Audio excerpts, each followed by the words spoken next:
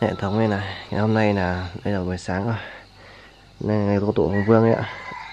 21 tháng 4 là 5 giờ 26 điện nó còn này, em mở cho tụ xem này ừ. cho cái gì vào này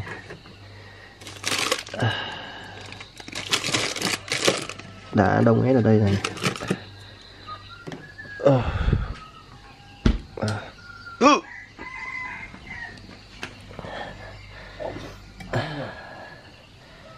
Thời ấy à. Nó ngắt mà. Nó đủ lạnh thì nó ngắt đi. Tí lại lên.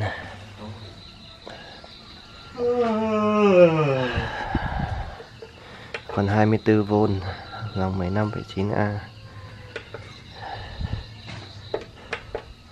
Sang hai cái điện thoại.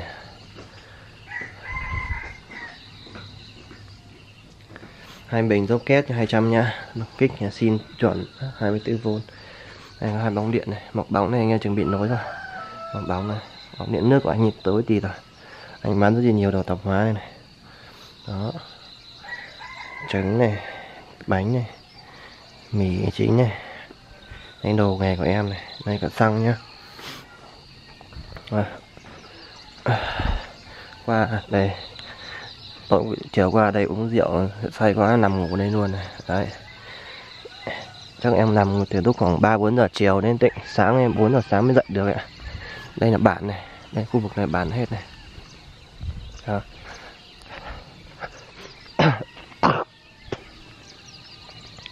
bây giờ con mệt đấy, nói giọng không không ấy hẳn đó đấy. Toàn bộ quán của anh ấy. Trên mái kia là bốn tấm bốn trăm ạ là em lấy hết máy rồi buộc xà sắt cột sắt xuống xà gồ rồi xuống xà gồ dưới nhà chắc chắn rồi. Gió chỉ nốc tung hết cái máy đi thì mới bay được cả pin đi không bay được đâu. Còn cho đẹp luôn.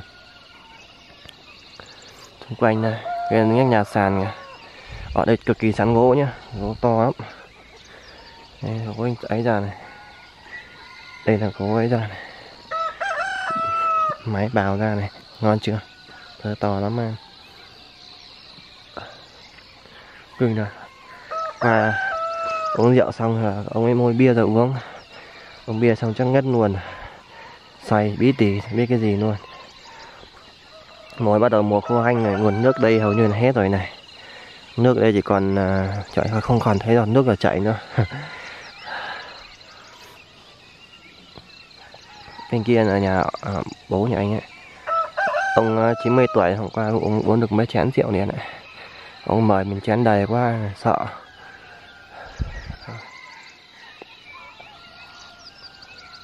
Tân cạnh đây cái giường kia để khách đến ngồi chơi hôm qua say quá em nằm nghỉ luôn đấy. Nhà gái đê te luôn.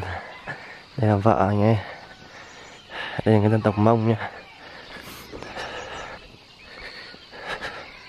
ăn mì tôm thôi chị ạ. Ờ làm gói mì tôm đun nước chưa? Đây, con mic này. Mic mic. Đấy, không không quen thì vẫy đuôi ấy. mic mic.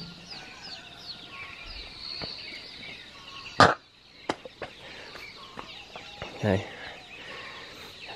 Đun nước đây nha sôi chưa? À sôi rồi. Ừ. Sôi hết rồi. Tắt cái hơi ống kính rồi. Thôi, xong rồi.